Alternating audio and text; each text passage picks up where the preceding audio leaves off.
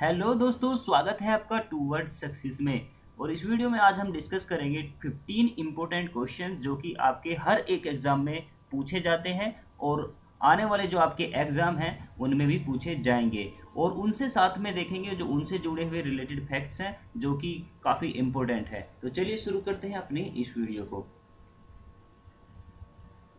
सबसे पहला क्वेश्चन है कि रॉकेट किस सिद्धांत पर कार्य करता है? तो रॉकेट जो सिद्धांत पर कार्य करता है, वो है संवेग संरक्षण। संवेग संरक्षण और संवेग को हम कहते हैं पी से डिनोट करते हैं इसको और पी इजकल्स टू होता है एम इंटू वी अब देखेंगे संवेग संरक्षण पर ये कार्य करता कैसे है। तो देखो P इजकल्स टू होता है m इंटू वी मास या इंटू वेलोसिटी या कहें द्रव्यमान इंटू वेग।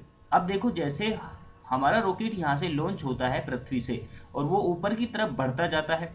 तो उसका जो ईंधन है, वो कम होता जाता है। ईंधन उसका फूकता जाता है, जलता रहता है और वो कम होता रहता है। यानी कि जो मास है, वो कम होता रहता है, लेकिन दूसरा जो फैक्टर है वेलोसिटी वो बढ़ता रहता है। ठीक है? तो आप देखो, ये घट रहा है, ये बढ़ रहा है। यानी कि जो चीज़ यहाँ से गई थी सेम उसी चीज़ पर ये कार्य करता है।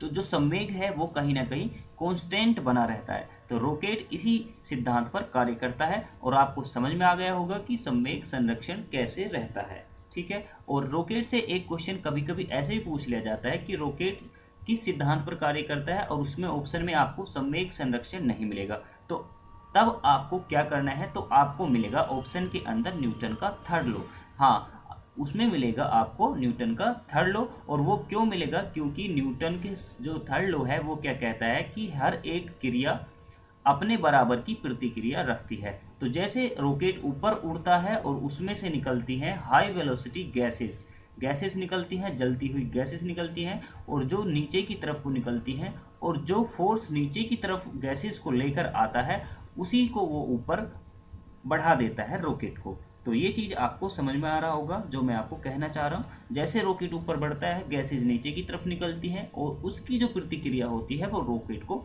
आगे की तरफ़ धकेलती है, आगे की तरफ़ पुश देती है मोशन देती है। तो चलिए अगला क्वेश्चन देखते हैं।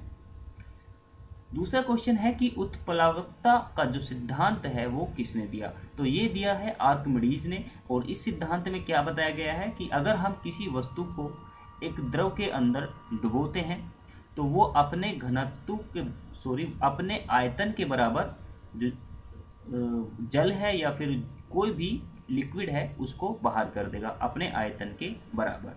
तो आप इसको याद रखेंगे। और नेक्स्ट क्वेश्चन देखें किसी ध्वनि स्रोत की आवृत्ति में होने वाला परिवर्तन क्या कह रहा है क्या उसका मतलब कारण क्या होता है? तो ये होता है डोपलर इफ़ेक्ट, ठीक है? डोपलर प्रभाव। जैसे आपने कभी देखा होगा कि रेल की सीटी अगर हम स्टेशन पर खड़े हैं तो उधर से अगर रेल आ रही है तो हमें ऐसा लगता है कि रेल की जो सीटी की आवाज़ है, वो बढ़ रही है। और जब हम स्टेशन पर खड़े होते हैं, और रेल आगे की तरफ़ चली जाती है, ट्रेन आगे की तरफ़ चली जाती है, और वो हॉर्न देती है सीटी हो जाती है तो अब हमें लगता है कि रेल की जो सीटी की आवाज़ है, वो कम हो रही है। तो एक्चुअल में वो कम तो होती नहीं है, और वो इफ़ेक्ट होता है, श्रोता और जो दूसरा सोर्स है, उसके बीच की बढ़ती हुई दूरी, बढ़ती हुई डिस्टेंस की वजह से ये इफ़ेक्ट होता है। और इस इफ़ेक्ट को हम नाम देते हैं डोपलर इफ़ेक्ट तो ये आप याद रखेंगे। ब्रह्मांड प्रसारित हो रहा है। ठीक है? यह किसने बताया? तो ये बताया था एडविन हबल ने। और एडविन हबल जो है, ये उन्नीस सौ उनतीस में इन्होंने बताया। और ये कैलिफ़ोर्निया एक यूनिवर्सिटी है, जिसका नाम है विल्सन वैदशाला में ये कार्य करते थे एडविन हबल और वहाँ से इन्होंने ये रिसर्च की और बताया कि जो ब्रह्मांड है वो प्रसारित हो रहा है और किस तरीके से बताया, चलो मैं इसको आपको आगे स्लाइड में समझा देता हूँ। आप देखिए यहाँ पर है हब्बल्स लो मैंने आपको थोड़ा सा ब्रह्मांड का ये पिक्चर लिया है। अब देखेंगे इन्होंने क्या बताया कि जो रेड शिफ्ट की तरफ़ अगर किसी हमारी जो मंदाकिनी होती हैं, आपको पता होगा कि ब्रह्मांड के अंदर लाखों करोड़ों मंदाकिनी है। तो मंदाकिनी हमारी से जो दूर हैं, हमारी मंदाकिनी है, गैलेक्सी जो है, वो है दूध मेखला, मिल्की वे, और हमारी जो मंदाकिनी है, उससे जो दूर दूर मंदाकिनी है, वो हमसे दूर होती जा रही हैं। ये समझाया था हब्बल्स ने। और इन्होंने किस सिद्धांत पर बताया? इसमें इन्होंने डोपलर जो सिद्धांत है, उसी को इन्होंने लिया। इसमें दो चीज़ें होती हैं, बहुत बड़ा कंसेप्ट है अपने आप में, लेकिन आप छोटा शॉर्ट में समझेगा इसमें दो चीज़ें होती हैं, एक होता है रेड सिप और एक होता है ब्लू शिफ्ट अगर हमारी मंदाकिनी, दूसरी, हमारी से दूसरी जो मंदाकिनी है, अगर वो रेड शिफ्ट की तरफ़ बढ़ रही है, जैसा कि आप यहाँ पर देख रहे होंगे, ये रेड शिफ्ट है। अगर इस तरफ़ वो जा रही हैं तो वो हमसे दूर हो रही हैं। और अगर ब्लू की तरफ़ बात करें, ये ब्लू है, आप यहाँ पर देख रहे होंगे कर्सर पर तो अगर ये इस तरफ़ आ रही है तो ये हमारे पास आ रही है। तो ब्रह्मांड प्रसारित हो रहा है, क्योंकि जो हमसे दूर वाली मंदाकिनी है, वो रेड शिफ्ट हो रही है। रेड शिफ्ट हो रही है, यानी कि वो हमसे दूर जा रही हैं। और जितनी भी कोई मंदाकिनी हमसे दूर है, वो उतनी ही तेज़ी से हमसे दूर जा रही। तो ये सारी खोज जो थी, ये हब्बल्स ने हमको समझाई। और ये कब की गई थी? ये की गई थी 1929 में। ठीक है? तो ये सारी चीज़ आप समझ गए होंगे। गिरोह के गति के नियम को सबसे पहले किसने दिया था? तो ये कैपलर ने नियम दिए थे। गिरोह के तीन नियम हैं। और जैसा कि आप यहाँ पे देख रहे हैं कि जो each planet moves in an ellipse with the sun at the focus. तो सूर्य की चारों तरफ़ इलेक्ट्रिकल वे में सारे जो ग्रह हैं, वो चक्कर लगाते हैं और बाकी के ये आपको दो जो लो हैं, आपसे कोई पूछेगा नहीं, फिर भी आप इनको एक बार थोड़ा सा पढ़ लीजिएगा। पृथ्वी तथा अन्य ग्रह सूर्य के चक्कर लगाते हैं, ये किसने पता लगाया? तो ये पता लगाया था कोपर निकस ने कि पृथ्वी तथा अन्य ग्रह सूर्य के चक्कर लगाते हैं। पहले ये समझा जाता था कि जो सूर्य है वो चक्कर लगाता है ग्रहों के, पृथ्वी का चक्कर लगाता है। लेकिन ये गलत थ्योरी हुई और ये समझाया था कोपरनिकस ने कि पृथ्वी और अन्य ग्रह जो हैं, वो सूर्य का चक्कर लगाते हैं। तारे व सूर्य की ऊर्जा का स्रोत क्या है? तो तारे और सूर्य की जो ऊर्जा का स्रोत है, वो है नाभिकीय सलियन। दो तरह की क्रियाएँ होती हैं, एक होती है नाभिकीय सलियन और एक होती है नाभिकीय विखंडन। तो नाभिकीय सलियन में क्या होता है कि दो छोटे कण, दो छोटे एटम आपस में मिलकर एक बड़ा एटम बनाते हैं। तो उसे कहते हैं नाभिकीय सलियन। और जब एक बड़ा नाभिक दो छोटे एटम में टूट जाता है तो उसे कहते हैं नाभिकीय विखंडन तो सूर्य पर होता है नाभिकीय सलियन इसी का कारण है कि सूर्य काफ़ी समय से जल रहा है और आने वाले समय में भी जलता रहेगा। सूर्य के अंदर बेसिकली क्या हो रहा है कि जो हीलियम जो है तो सूर्य की जो ऊर्जा का स्रोत हम बात करें तो वो होता है दो हाइड्रोजन मिलकर एक हीलियम बनाते हैं। तो आपसे कभी पूछा जाए कि सूर्य की ऊर्जा का स्रोत क्या है? तो वो हाइड्रोजन है और वहाँ पर क्या होता है? नाभिकीय सलियन। तो नाभिकीय सलियन और नाभिकीय विखंडन आप समझ गए होंगे। नाभिकीय विखंडन पर कार्य करता है परमाणु बम जो होते हैं, वो नाभिकीय विखंडन पर कार्य करता है। नेक्स्ट क्वेश्चन देखेंगे लो ऑफ़ फ्लोटिंग का सिद्धांत किसने दिया? तो लो ऑफ़ फ्लोटिंग का सिद्धांत दिया था आर्कमिडीज ने। पौधों में भी जीवन होता है, ये किस वैज्ञानिक ने बताया था? तो आपने बचपन में एक स्टोरी सुनी होगी कि जेसी बोस के बारे में। इन्होंने एक जो पौधा था, उसमें इंजेक्शन जहर का इंजेक्शन लगा के ये चीज़ लोगों को समझाई थी कि देखिए, जैसे जहर के इंजेक्शन से पॉइजन के इंजेक्शन से मनुष्य की डेथ हो जाती है, उसी तरीके से अगर हम किसी पौधे में जहर का इंजेक्शन लगा देते हैं पॉइजन का इंजेक्शन लगा देते हैं तो वैसे ही पौधे की भी डेथ हो जाती है, वो मुरझा जाता है। तो ये थे, भारतीय नागरिक थे मतलब पूर्व, पहले भारतीय नागरिक थे और अमेरिका में ये जाकर बस गए थे। तो ये भारतीय अमेरिकी नागरिक थे, जब इन्होंने इसकी खोज की थी, इस चीज़ के बारे में बताया था। किसी चालक के सिरों के बीच विभांतर उसमें बहने वाली धारा के समानुपाती होता है।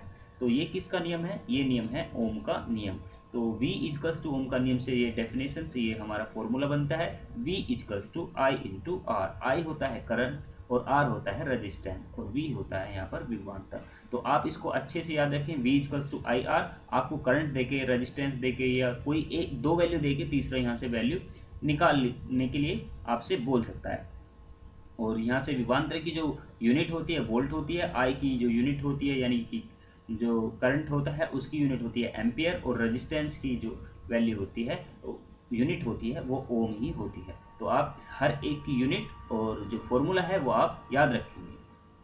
द्रव चालित ब्रेक किस सिद्धांत पर कार्य करते हैं? तो ये करते हैं पास्कल लो पर। और पास्कल लो क्या होता है कि किसी स्थितिक जो द्रव होता है, उसके अंदर किसी भी पॉइंट पर जो दाब की इंसेंटिसिटी होती है, तीव्रता होती है वो हर एक डायरेक्शन में इक्वल होती है। तो ये काम कैसे करता है बेसिकली कभी आप एक इंजेक्शन लें, जो सिरिंज वाले होते हैं, उसको इंजेक्शन ले मतलब इंजेक्शन वो सिरिंज होती है सिरिंज लेनी है बेसिकली आपको। इंजेक्शन नहीं लेना, जो अंदर डालते हैं, वो नहीं लेना सिरिंज लेनी है। उसके अंदर आपको पानी भरना है और पानी भरकर आगे आप जो फिंगर होती निडल जहाँ पर लगती है, वहाँ पर आप क्या लगाएँगे? अपना फिंगर लगाएँगे, उसको दबा लेंगे। और तब ऊपर से आप प्रेस करेंगे तब आप फील करेंगे जितना प्रेशर आप ऊपर से डालते हैं, उतना ही सेम प्रेशर वाटर यानी कि पानी आपके जो सेकंड फिंगर आपने आगे से बंद किया हुआ है, उस पर लगाता है। ठीक है? तो ये जो चीज़ है, ऐसे ही काम करता है ब्रेक के अंदर। ब्रेक के अंदर वाटर नहीं भरा जाता क्योंकि इरोजन हो जाएगा वहाँ पर रस्टिंग हो जाएगी।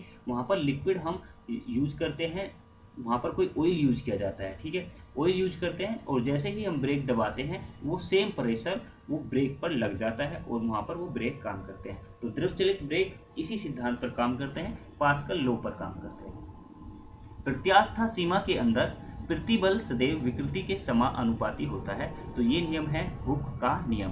हुक का नियम है और ये देखिए, आप फॉर्मूला यहाँ से इसका ड्राइव कर सकते हैं। सबसे पहले एक हमारी स्प्रिंग थी जो कि अनस्ट्रेस्ड स्प्रिंग है, बिल्कुल विराम अवस्था में है।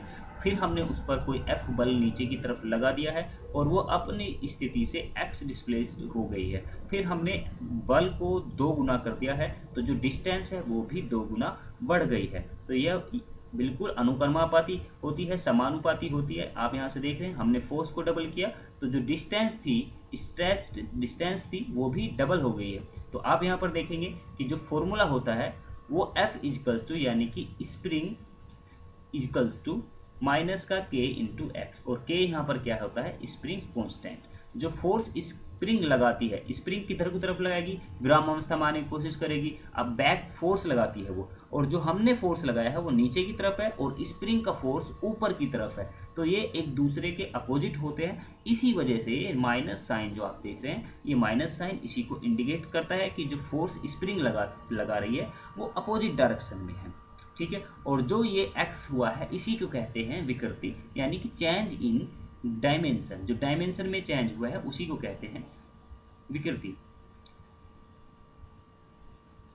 प्रत्येक क्रिया के विपरीत और बराबर होता है. प्रत्येक क्रिया के विपरीत और बराबर होती है. ये क्या कहलाती है? न्यूटन का तीसरा नियम.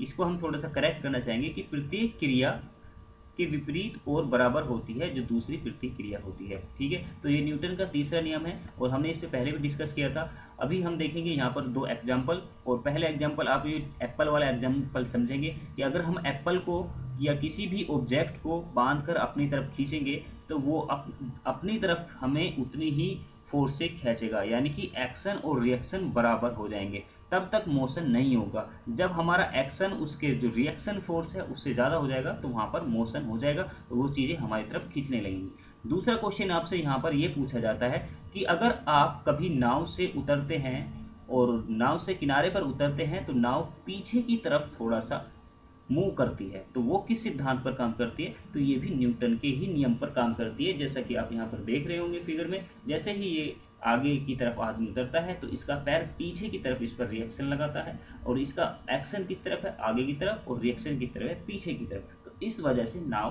पीछे की तरफ़ चली जाती है। और एक क्वेश्चन और आता है, जब हम बंदूक से गोली चलाते हैं अपने कंधे पर रखकर तो हमें झटका लगता है पीछे की तरफ़। वो भी न्यूटन का तीसरे नियम पर काम करती है। तो चलिए नेक्स्ट क्वेश्चन देखते हैं। परमाणु बम किस सिद्धांत पर कार्य करता है? तो मैं आपसे पहले बता चुका हूँ, ये करता है नाभिकीय विखंडन पर। और नाभिकीय विखंडन क्या होता है? मैं आपको समझा चुका हूँ। और परमाणु विखंडन के साथ साथ हम यहाँ, परमाणु बम के साथ में अगर हम यहाँ पे देखें, परमाणु जो हमारे बिजली संयंत्र होते हैं, जिनमें बिजली बनती है परमाणु परमाणु से, यूरेनियम से जिनमें बिजली बनती है, वो करते हैं नाभिकीय विखंडन पर कार्य। ठीक है? वो भी नाभिकीय विखंडन पर कार्य करते हैं। और उनमें मॉडरेटर के रूप में मंदक के रूप में यूज़ होता है भारी जल या फिर ग्रेफाइट की छड़ हम उनमें यूज़ करते हैं। दिए की बत्ती में तेल का चढ़ना किस सिद्धांत पर कार्य करता है? तो ये होता है केसी कातु ठीक है? केसी कातु पर काम करता है। आप इसमें कंफ्यूज ना करें कि ये किसी और सिद्धांत पर कार्य करता है, ये केसी कातु पर कार्य करता है। और एक एग्ज़ाम्पल और होता है केसी कातु का। वो होता है कि जब बारिश होती है तो बारिश होने के बाद किसान अपने खेत जोत देते हैं। ताकि जो प्रखनलियाँ हैं भूमि के अंदर ऊपर वाले क्रस्ट भाग में, वो टूट जाएँ और नीचे का पानी ऊपर ना आए और वो पानी वाष्प ना बनकर ऊपर उड़े। सूर्य से वो बचा लेते हैं, ऊपर की जो परख नलियाँ हैं उन्हें तोड़कर ताकि पानी नीचे से ऊपर ना आए। तो ये भी एक केसिकात का ही उदाहरण है। तो ये थे फिफ्टीन क्वेश्चन जो मुझे आपने, मुझे, मैंने आपके साथ में डिस्कस करे। ये वीडियो आपको कैसी लगी? तो आप ज़रूर बताइएगा, कमेंट करके और लाइक कर दीजिएगा। अगर आपको पसंद आई या आप हमारे साथ नए हैं तो सब्सक्राइब कर लें ताकि ऐसी वीडियो आप तक पहुँचती रहे। Thanks for watching